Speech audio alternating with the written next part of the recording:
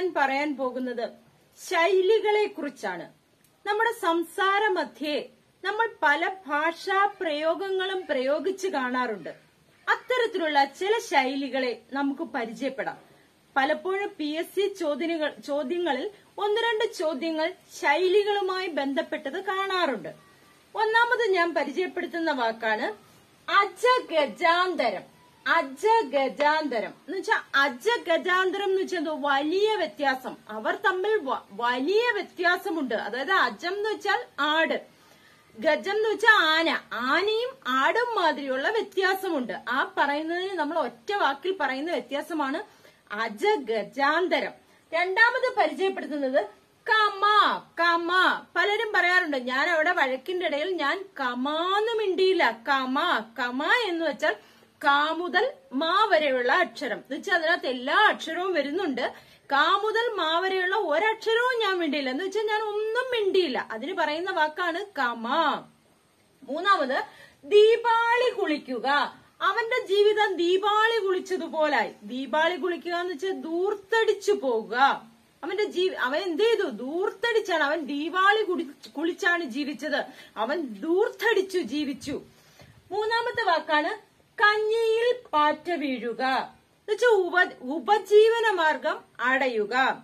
എന്റെ കഞ്ഞിയിൽ പാറ്റയിടാൻ അവൻ നോക്കി. എന്ന് വെച്ചാൽ എനിക്ക് വരുന്ന വരുമാനത്തിന് തടസ്സം വരുത്താൻ നോക്കി. കഞ്ഞിയിൽ പാറ്റയിടുക.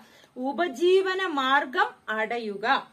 അടുത്തതാണ് ഭഗീരഥ പ്രയത്നം. ഭഗീരഥ പ്രയത്നം എന്ന് വെച്ചാൽ കഠിന പരിശ്രമം. കഠിന പരിശ്രമം. അതൊരു പുരാണ കഥയുമായി ബന്ധപ്പെട്ടതാ. ഒരു സൂര്യവംശ രാജാവായ ഭഗീരഥൻ വളരെ കഠിന പ്രയത്നം ചെയ്താണ് ഗംഗയെ ഭൂമിയിലേക്ക് കൊണ്ടുവന്നത്. ശിവന്റെ തലയിൽ നിന്ന് ഗംഗയെ ഭൂമിയിലേക്ക് കൊണ്ടുവന്നത് വളരെ കഠിന പ്രയത്നം ചെയ്താണ്. ആ പുരാണത്തിൽ നിന്നുള്ള ഒരു പദപ്രയോഗമാണ് ഭഗീരഥ പ്രയത്നം. കഠി- കഠിന പ്രയത്നം. ഇനി അടുത്തതാണ് കാറ്റുള്ളപ്പോൾ പാറ്റുക അവസരം കിട്ടുമ്പോൾ ഉപയോഗിക്കുക. അവസരം കിട്ടുമ്പോൾ ഉപയോഗിക്കുക.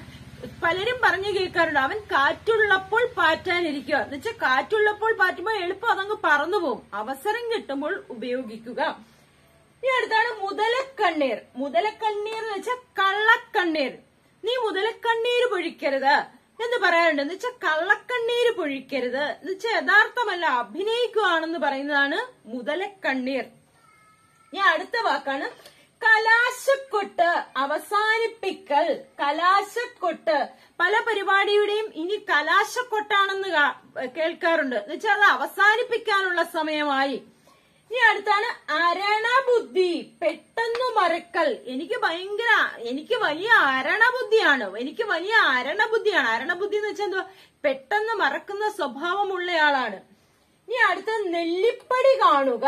അടിസ്ഥാനം വരെ കാണുക.